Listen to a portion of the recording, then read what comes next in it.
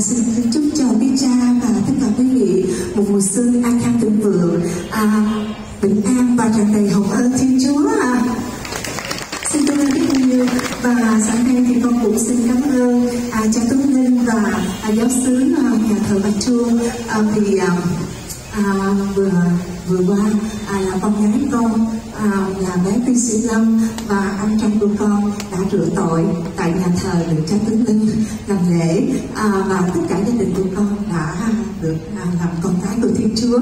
Tạ ơn Chúa và cảm ơn nhà thờ nhà thờ ba Chuông à xin cảm ơn rất nhiều và và sau đây à, con xin à, gửi tặng đến tất cả quý vị à, tất cả quý cha một nhạc phẩm à, nhạc thánh ca bé hát mang tên cầu cho cha mẹ. Bài hát này con nghĩ là tất cả mọi người ai cũng như biết. Và đặc biệt là mẹ của con đang ở đây. Con xin phép được tặng cho mẹ của con à, tặng biệt cho mẹ của con. Xin cảm ơn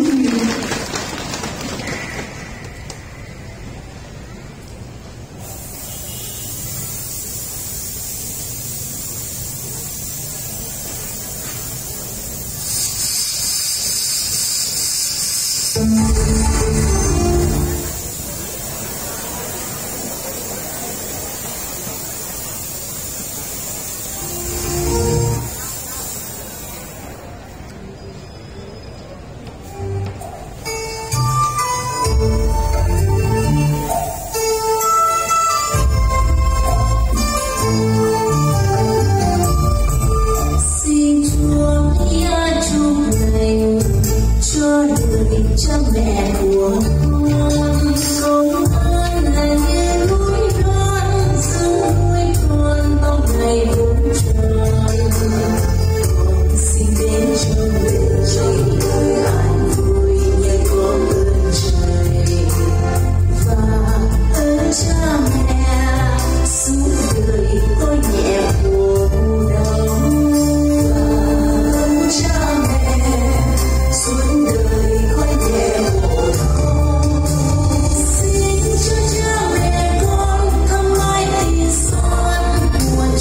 stay.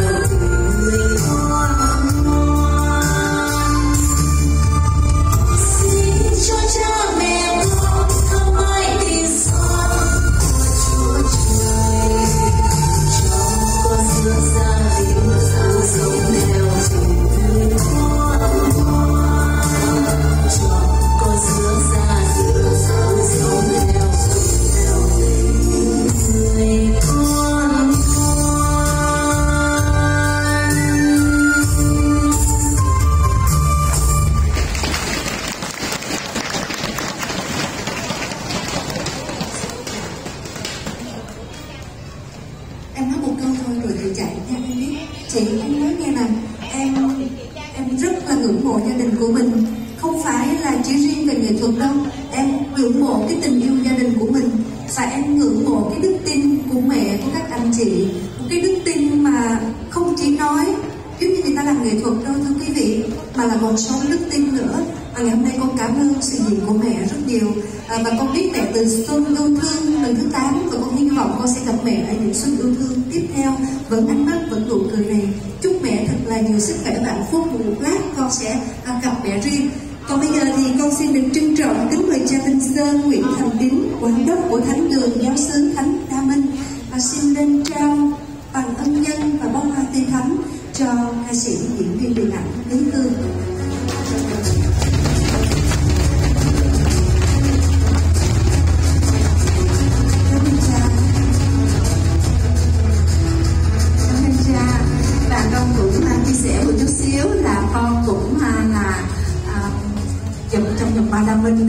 dạ.